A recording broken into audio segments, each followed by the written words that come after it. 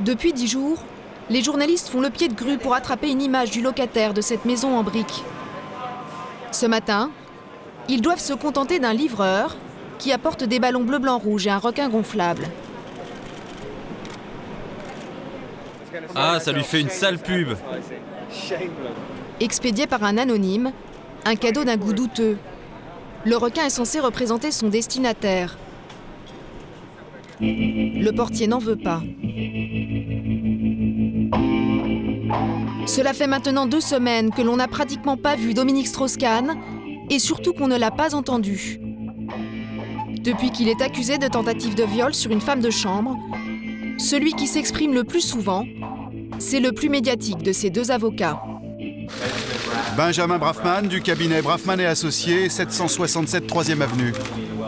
Benjamin Braffman, 62 ans, un ténor du barreau new-yorkais. Il a la réputation de sortir ses clients des situations les plus désespérées. Mais l'homme ne se laisse pas facilement approcher par la presse, surtout quand on lui demande comment il compte s'y prendre pour défendre Dominique Strauss-Kahn. Nice to meet you. Ravi de vous rencontrer. Juste une petite question. question. Vous êtes confiant sur l'affaire DSK Ah, je suis pas supposé en parler. Mais pourquoi Pourquoi vous ne pouvez pas en parler Vous pouvez nous expliquer Il y a des raisons? Je n'ai pas le droit de parler de l'affaire tant que le procès n'a pas commencé. Ok. Au au revoir. Un premier contact un peu expéditif. Mais Benjamin Braffman acceptera de nous rencontrer quelques jours plus tard. Il faut dire qu'aux États-Unis, l'avocat est une star. Il a défendu de nombreuses célébrités, comme le rappeur Puff Daddy. Accusé d'avoir ouvert le feu dans une boîte de nuit devant plus de 100 témoins, il a pourtant été acquitté en 2001 grâce à Benjamin Braffman. En général, quand des footballeurs gagnent le Super Bowl, ils disent qu'ils vont fêter ça à Disneyland. Eh bien moi, c'est comme si j'avais gagné le Super Bowl. Mais moi, je remercie Dieu. Merci beaucoup, je vous aime. Un autre rappeur, Jay-Z, doit lui aussi son salut à l'avocat.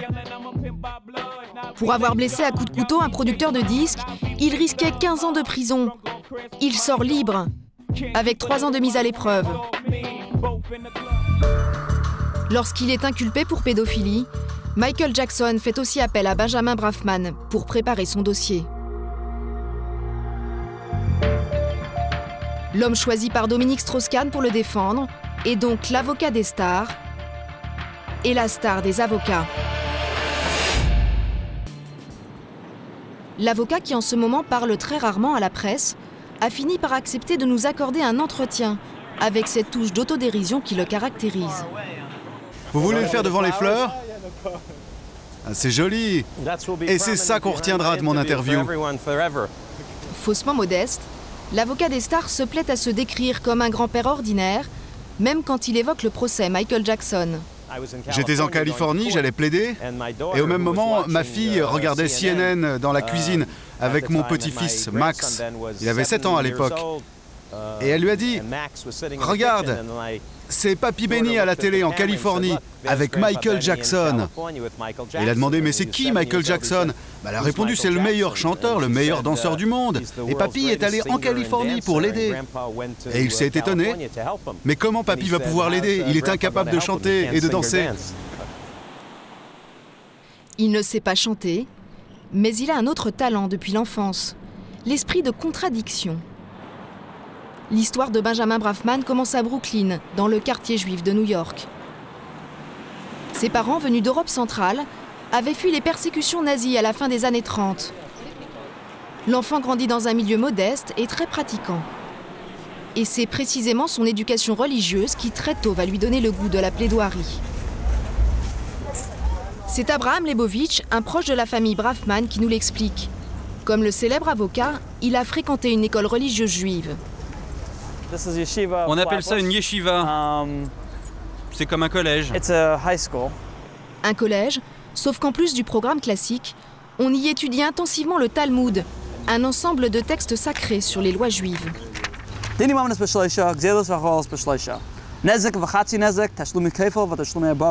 Dans ses écrits, la recherche de la preuve est systématiquement encouragée. On étudie par exemple l'histoire d'une femme qui trompe son mari. La loi juive dit que si elle est coupable, il faut la lapider. Mais ce qui est important dans le Talmud, c'est qu'il faut toujours avoir des témoins et ce qu'ils racontent doit vraiment concorder. S'il y a le moindre élément qui ne colle pas, on ne peut pas la condamner à mort. Et on apprend ce genre de choses quand on est enfant? Oui, dès l'âge de 10-11 ans. Et votre cerveau est formé pour être toujours d'une logique implacable. 50 ans plus tard, Benjamin Brafman n'a rien oublié de ses principes. Et dans l'affaire du Sofitel, le témoin principal n'est autre que la victime présumée elle-même. Nafissatou Diallo, la femme de chambre. Tout le talent de Benjamin Brafman va être de démontrer au tribunal qu'elle n'est pas fiable. Car si DSK plaide non coupable, il y aura un procès et ceux qui décideront de sa culpabilité ou de son innocence ne sont pas des juges, mais 12 jurés tirés au sort dans la population américaine. Ils doivent décider à l'unanimité.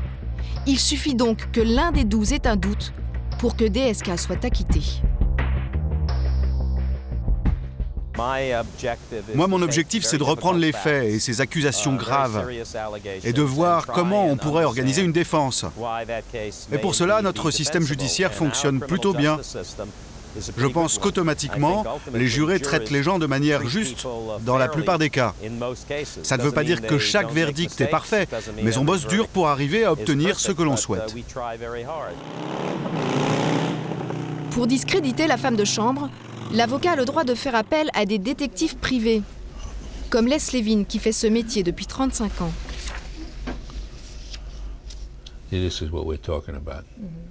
Ce vieux briscard a travaillé sur de nombreuses affaires pour le compte de Ben Brafman. Et aujourd'hui, les deux hommes sont très proches. Voilà donc le genre de limier qui va enquêter sur Nafissatou Diallo. Et sur le terrain, il n'a aucun état d'âme. Je ne suis pas juge, je ne suis pas rabbin, je ne suis pas prêtre. Je m'attache seulement aux faits. Mais vous cherchez quel type de renseignements Moi, mon boulot, c'est de m'assurer que l'avocat avec qui je travaille aura en main toutes les informations pour défendre son client. Alors parfois, vous utilisez des moyens un peu reluisants. Vous fouillez dans le passé des gens, vous fouillez dans leurs poubelles. Cette fois-ci, Benjamin Brafman n'a pas sollicité son vieux copain. Mais il a déjà envoyé sur le terrain une équipe d'enquêteurs pour fouiller dans le passé de la femme de ménage. Et ça n'a pas échappé aux habitants de ce quartier du Bronx où résidait la jeune Guinéenne de 32 ans. Dans cet HLM, où elle vivait encore il y a quelques semaines, les voisins ont vu passer des enquêteurs privés.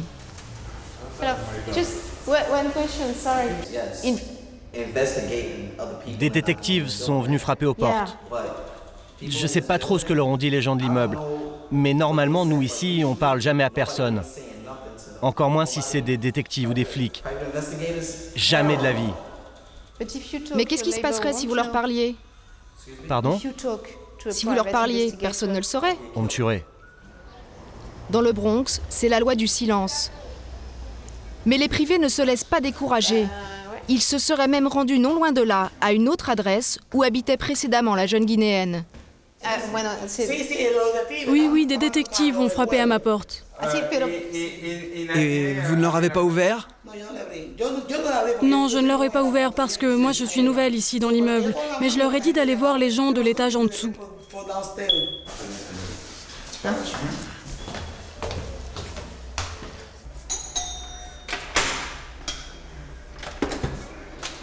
Bonjour. Bonjour. Est-ce que des gens sont venus vous voir? Ouais, il y a beaucoup de gens qui sont venus. Hier, c'était des détectives. Des détectives? Ils ont demandé quoi? Ils m'ont montré la photo d'un type. Je ne l'avais jamais vu. Il avait une barbe, mais il ne me disait rien. Et il ressemblait à quoi? Il était noir et il avait une barbe. Moi, je leur ai dit que j'ai seulement vu la dame et sa fille qui allaient et revenaient de l'école. Ils voulaient savoir si elle fréquentait un homme. Ouais, j'imagine que c'était ça. Ces méthodes typiquement américaines, Benjamin Brafman en a fait l'apprentissage dans les années 80. Alors jeune avocat, il plaidait dans des procès de la mafia qui tenait en haleine l'Amérique. Vous êtes sur les affaires Colombo et Gambino Vous êtes avocat Je suis avocat. Qui défendez-vous Je ne parle pas à la presse. Vous êtes qui Mon nom est Ben Brafman. La mafia, il en avait même fait un moment son fonds de commerce, comme s'en souvient Michael Bachner qui travaillait avec lui à l'époque. C'était là qu'il y avait le plus de procès. C'était là qu'il y avait de l'argent à se faire. Et le boulot était intéressant. À l'époque, la police arrêtait beaucoup de mafieux, et Ben était super fort pour les défendre. Il obtenait des acquittements là où tout le monde aurait échoué, et c'est comme ça qu'il s'est fait connaître comme un très bon avocat au pénal. Premier coup d'éclat en 1985, lors du procès du parrain Paul Castellano et de dix membres de son clan. Ben Brafman défend l'un d'entre eux. Ce sera le seul acquitté. Et pour arriver à ses fins, l'avocat utilise une technique de harcèlement. Tous les matins, il s'en prend à Walter Mack, le procureur. Pendant une demi-heure à la barre, Brafman répète en boucle qu'il a très mal fait son travail. Mon assistant me disait mais tu ne réalises pas que quand tu entres dans la salle du tribunal, chaque matin, de 9h à 9h30, M. Braffman te prend personnellement pour cible, en laissant entendre que le procureur n'a pas fait ci ou n'a pas fait ça. En agissant ainsi, il me déstabilisait tellement que ça m'empêchait de penser pendant l'heure qui suivait. Et c'est vrai que s'il n'avait pas fait ça tous les matins, on s'en serait peut-être mieux tiré face à lui. Grâce à cette agressivité, l'avocat de DSK a même réussi des coups spectaculaires, blanchir des clients qui semblaient pourtant indéfendables. C'est dommage, il y a ce building qui cache un peu la vue. Sur sa terrasse de Toronto, au Canada, Peter Gation n'en revient toujours pas d'être en liberté. Il aurait pu passer 17 ans derrière les barreaux et son salut il le doit à Benjamin Brafman. Il était accusé de complicité dans un énorme trafic de drogue qui avait lieu dans cette ancienne église transformée en boîte de nuit. Dans les années 80 et 90, Peter Gation était le roi de la nuit à New York. Il possédait quatre discothèques. On pouvait y croiser des stars, Sting, Jack Nicholson ou Madonna. Mais en 1996, les clubs de Peter Gation sont fermés la justice américaine l'accuse d'avoir sciemment laissé des dealers y distribuer de l'ecstasy pour attirer des clients. Peter Gation appelle Ben Brafman à la rescousse, mais les témoignages contre lui sont accablants. Dans un documentaire réalisé par sa propre fille, on voit qu'il pouvait difficilement ignorer ce qui se passait dans ces clubs où les pilules de drogue semblaient tomber du ciel.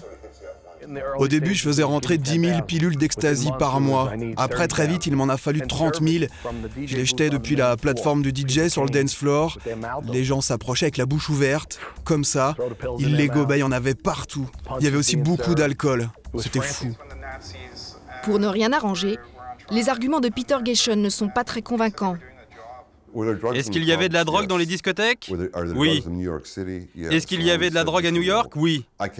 Écoutez, mes discothèques ne peuvent pas être des oasis où personne ne prend de la drogue. À la barre, Benjamin Brafman parle très peu de son client, mais il va chercher à démolir les employés de discothèques qui témoignent contre lui. Un petit détail a attiré son attention.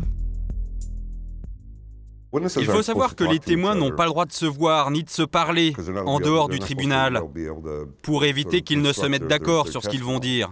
Ben Mais un jour, Ben remarque qu'un témoin s'est fait prêter le costume d'un autre témoin qui était venu la veille, ben car il était habillé exactement de la même façon, alors qu'ils sont supposés ne jamais se parler. Moi, j'avais pas remarqué, ma ben, femme qui venait tous les jours non plus. Mais Ben, lui, il avait remarqué. Et il a demandé au type ben Dites donc, quand vous êtes-vous vu pour la dernière fois avec l'autre gars uh, qui s'appelait Paul, il me semble uh, Et le gars répond Oh, c'était il y a très longtemps. Ah bon Mais ce costume, vous l'avez trouvé où C'est celui que l'autre témoin portait hier. Um, Et là, le témoin se décompose. Il était piégé. Il y a un mensonge, Et Braffman s'engouffre dans la brèche, comme il le raconte lui-même dans le documentaire. Je me souviens d'avoir regardé ce jury qui était composé de gens normaux, de kidam. Et je leur ai dit, laissez-moi juste vous poser une question. Si vous partiez en vacances, vous laisseriez à ces témoins les clés de votre appartement? Vous leur feriez confiance? Non. Parce qu'ils ont menti quand ils sont entrés dans ce tribunal. Et vous allez décider de la vie de Peter Gation en vous appuyant sur leur témoignage? Bref, avoir en face de soi Benjamin Braffman n'est pas une partie de plaisir. Et s'il y a un procès, il sera éprouvant pour la femme de chambre. Car l'avocat pourra lui faire subir en public ce qu'on appelle aux États-Unis un contre-interrogatoire pour la déstabiliser. En Pennsylvanie, nous avons rencontré l'un des champions de cet exercice impitoyable. Il s'appelle James Cohen. Cet avocat de renom a souvent vu Ben Braffman cuisiner la partie adverse. C'est qui le meilleur, vous ou lui? Euh, On est presque aussi bon l'un que l'autre. Mais c'est peut-être Ben. Il a beaucoup d'expérience dans ce domaine. Mais moi aussi. Des questions courtes, directes, tranchantes, pour détruire un témoin en quelques minutes. Si James Cohen était à la place de Ben Braffman devant la femme de chambre guinéenne, voilà comment il s'y prendrait. Par exemple, imaginons qu'on soit en train de parler de sa condition d'immigré. Alors, vous êtes arrivé dans ce pays tel ou tel jour, disons il y a dix ans. Et à l'époque, vous n'aviez pas de travail. Vous viviez de l'aide sociale, vous étiez dépendante. Vous aviez votre fille à charge, ou plutôt à la charge des États-Unis. Bon. Vous avez pris ce boulot de femme de ménage pour gagner de l'argent. Oui.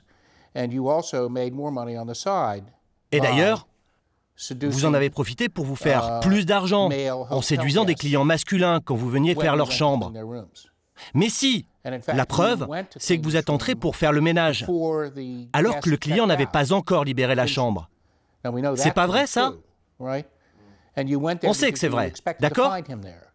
Et vous êtes entré parce que vous espériez le trouver là. Et là, vous comptiez bien l'entraîner dans une petite aventure sexuelle pour lui soutirer de l'argent.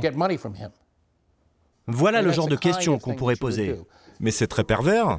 Effectivement, c'est très pervers.